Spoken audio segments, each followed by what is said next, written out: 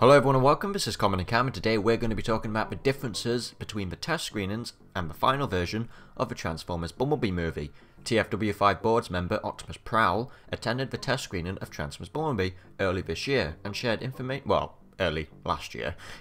it's 2019 already. Now the only scenes in the movie that saw a drastic change were its hard connections to the Bayverse. It's been now noted as a pre-boot this has. Um, like I said in my review, this film doesn't really know if it wants to be a reboot or a prequel, and that's why there's a lot of changes uh, with the final cut because they're kind of like alluding to that, like, oh, if it is, then it is, and if, if they don't, they don't. It's just kind of trying to save themselves a little bit and be able to take two directions instead of just focusing on one direction. They can kind of open up a little bit and decide what they're going to do next. Now, going into the differences, it will contain spoilers, so if you've not seen the movie yet, just giving you a good warning now.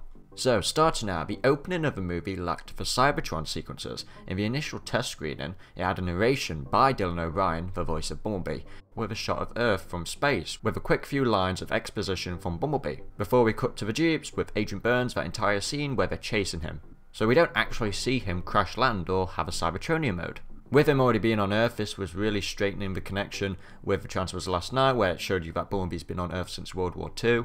So yes, it opened up on Earth, which is kind of a bit better because we would have really missed out on that Cybertron scene, which is by far one of the best things in the entire film. So originally I was going to start out with the same scene with John Cena and his crew exercising in the forest, and then Bumblebee is in the forest hiding. We also have some dialogue changes between Mr. Powell and Agent Burns. It was reshot and they removed Sector 7's prior acknowledgement of Transformers. Originally, John Cena was xenophobic towards the Transformers due to him knowing a friend who was killed by one of them at some point. Yes, I know, I just said John Cena instead of his character name. I can't help it, okay?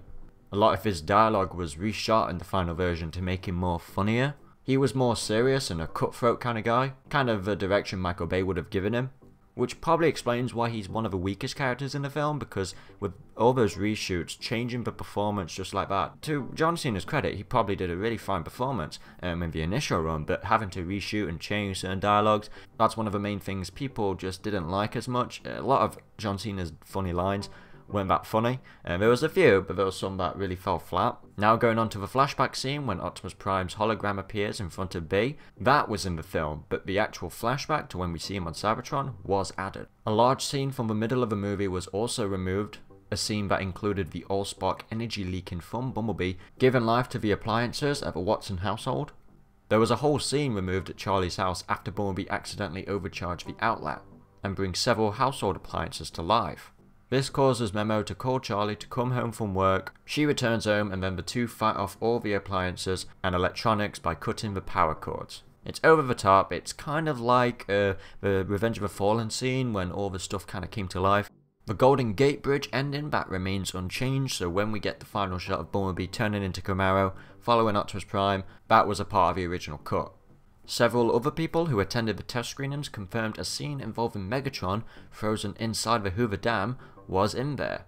So basically there was a Sector 7 scene between Cena and Simmons and the General talking about how the Autobots must never know about NBE-1, which is revealed to be the frozen G1 styled Megatron, fusion cannon and all that. That has the same aesthetics as the Cybertronian bots from the opening sequence, so this is really interesting because they did do a model of that, so I'm hoping at some point we get to see that either through behind the scenes or concept art, like maybe they'll include that in the deleted scenes, um, just for kind of like what could have been.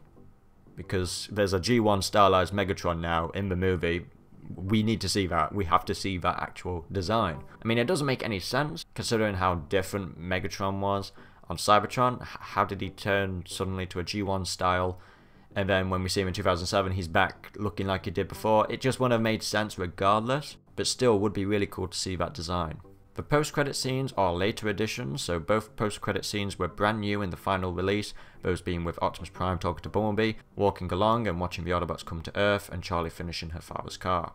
So this is like the whole pre-boot notion, so the writers, they clearly understand that Optimus Prime and the Autobots didn't come to Earth until 2007, so they decided to make a scene like that just for the fact that, okay, yeah, this is why it's a reboot, because of this essential scene. But it still doesn't stop fans confused regardless, but it's just really good to know that that was later added and wasn't actually in the original cut. So Optimus Prowl's summary is that everything was essentially the same between both versions, just cut slightly faster in some places to keep the pacing steady. So they're just kind of excluding all those kind of connections, those strong connections, to really make it on its own and hoping in the future that they will go ahead and like, yeah, this is a reboot, or pre-boot, as you say, an X-Men first class kind of thing, but I'm sure they're still debating on what they actually want to do next. Anyway guys, that's all I have to say today. I will leave a link to the article so you can check it out. Thanks Optimus Prowl and TFW for giving us this information. If you're new to this channel, be sure to like, comment and subscribe and click on that notification bell to get all updates instantly. Until the next video guys, goodbye.